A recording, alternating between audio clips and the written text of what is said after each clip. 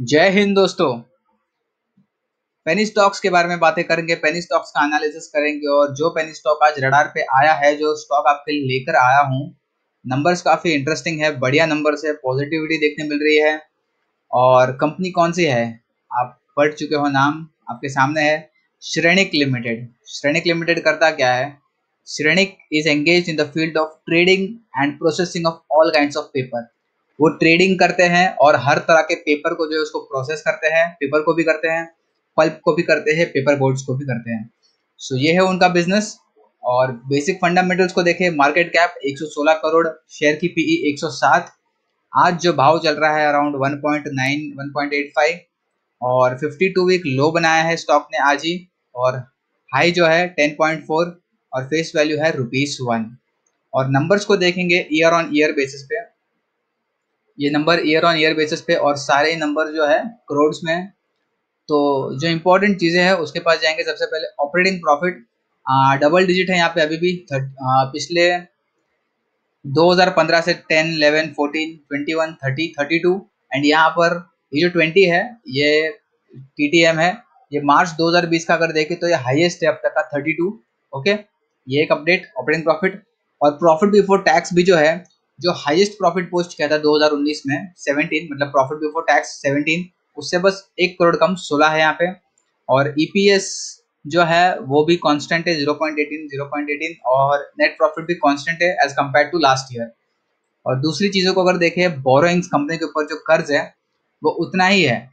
Around March 2019 के मुकाबले around 9 crore ज़्यादा हो चुका है 174 तो ये एक इंटरेस्टिंग अपडेट और जो एसेट्स है उसमें बढ़ोतरी हुई है लगभग 35 करोड़ की। जी हाँ 332 करोड़ के एसेट है कंपनी कंपनी के पास।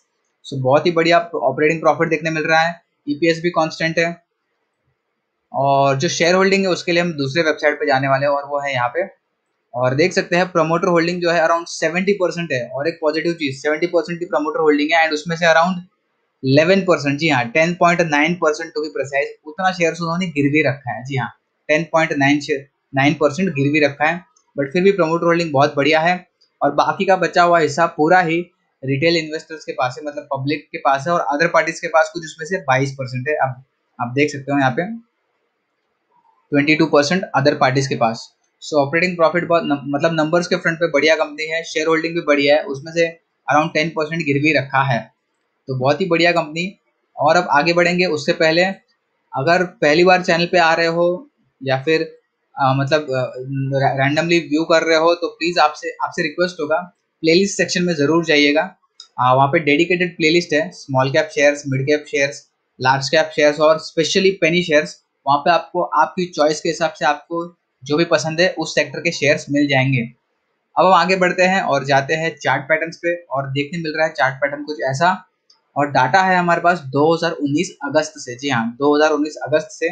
और तब स्टॉक ने हाई लगाया था अराउंड बारह रुपए का और उस उस महीने के बाद स्टॉक कभी बारह रुपए के आसपास जा ही नहीं पाया है। जी हाँ कभी भी बारह रुपए के आसपास नहीं जा पाया है स्टॉक अब स्टॉक के इंपॉर्टेंट सपोर्ट लेवल्स को देखें तो जहाँ पिछले समय बाउंस बैक लिया था, वो था ये सबसे पहला लेवल ये अराउंड 5.45 जी हाँ 5.45 इसको पिछले दिनों स्टॉक ने तोड़ दिया। थोड़ा और आगे जाएँगे तो देखेंगे। स्टॉक का दो रुपए का एक इंपॉर्टेंट सपोर्ट था। जी हाँ एग्जैक्टली टू रुपीज़ आप देख सकते हैं यहाँ पे स्टॉक ने उसको भी तोड़ दिया। स्टॉक ने उसको भी तोड़ दिया है। अब स्टॉक के ट्रेंड को अगर चेक करें, जी हाँ ट्रेंड तो आपको देखने मिल मिल रहा होगा किस तरह से नीचे है फ़िलहाल। और पिछले दिन, पिछले दिनों के ट्रेंड को देखें तो स्टॉक का जो लो है, देख सकते हैं आप लो हाई के साथ मैंने लो को कनेक्ट कर दिया। तो ब्रेकआउट तो हो गया स्टॉक का और फिर से नीचे चला गया। स्टॉक का ब्रेकआउट भी हो गया और फिर से स्टॉक जो है नीचे चला गया है। सो so, जो इंपॉर्टेंट बेस था एक दो रुपए का स्टॉक ने उसको भी तोड़ दिया है उसके भी नीचे काम कर रहा है। सो so, कहने का यहाँ पे मतलब ये है कि नंबर्स तो काफ़ी बढ़िया है कंपनी के। जी हाँ नंबर्स बहुत ही बढ़िया है इंटरेस्टिंग देखने मिल रहा है हमें। बट यहाँ पे पेनी स्टॉक्स में हमें इन्वेस्ट कितना करना होता है हमेशा हमने डिस्कस किया है। बस उतना पैसा इन्वेस्ट करना होता है जितना अगर किसी कारण शून्य हो जाए तो हमें कोई फ़र्क नहीं पड़ सकता।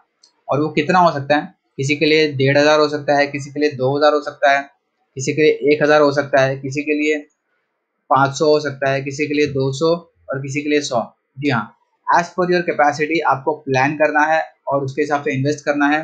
एंड सबसे इम्पोर्टेंट चीज़ पेनी स्टॉक जो होते हैं, उसमें आपका जो पैसा होता है, कभी भी दो या तीन गुना हो सकता है, क्योंकि ये सर्किट टू सर्किट ट्रेड करते हैं, ऊपर की तरफ़ भी, नीचे नीचे की तरफ़ भी। और इसमें टारगेट क्या होता है? टारगेट इसमें कुछ नहीं होते। इसमें टारगेट बस एक ही होता है अगर आप जब भी पैसा इन्वेस्ट करते हो और वो पैसा आपके इन्वेस्ट करने के लेवल्स के बाद अगर दुगना हो जाता है, जी हाँ आपके इन्वेस्ट करने के लेवल जो है उससे डबल हो जाता है। आपको एक रूल फॉलो करना है डिसिप्लिन के साथ और वो ये है कि जब वो स्टॉक डबल होगा, आपको आपके इन्वेस्टमेंट के पैसे निकाल देने हैं, जी हाँ। इन्वेस्टमेंट की जो कैपिटल अमाउंट है मतलब निकाल देना है। अगर दो हज़ार डाल के वो चार हज़ार हो गया तो दो हज़ार रुपए की वैल्यू के शेयर्स बेच दीजिए तो आपका रिस्क एक्सपोजर ज़ीरो हो गया। आपने जो आपकी मेहनत की, कमाई इन्वेस्ट की थी, वो आपने निकाल ली है। अब आप पूरी तरह से केयर फ्री हो गए स्ट्रेस फ्री हो गए। अब कंपनी का आगे जाके जो भी होना है, शून्य हो जाए डिलिस्ट हो जाए, कोई भी प्रॉब्लम हो जाए, आपको कोई असर नहीं पड़ेगा। अगर किसी कारण स्टॉक मल्टीबैगर बनता है तो आपका ही फ़ायदा है। और इस तरह से कैपिटल एग्जिट करने का फ़ायदा ये होता है, आप वो पैसा किसी और बढ़िया दूसरी फंडामेंटल टेक्निकली कंपनी में इन्वेस्ट कर सकते हो मतलब आपको एक दूसरी अपॉर्चुनिटी मिल जाएगी पैसा इन्वेस्ट करने की। ठीक है? तो ये था कुछ बेसिक और सरल सा एनालिसिस श्रेणिक लिमिटेड के बारे में और पेनी स्टॉक्स में इन्वेस्ट कैसे करते हैं उसके बारे में। वीडियो पसंद आई है तो प्लीज़ वीडियो को लाइक ज़रूर कीजिएगा। पूरी कोशिश होती है मैक्सिमम इन्फॉर्मेशन आपके सामने पेश की जाए। और आप लोग वीडियो देख लेते हो, मैंने नोटिस किया बट लाइक नहीं कर रहे हो।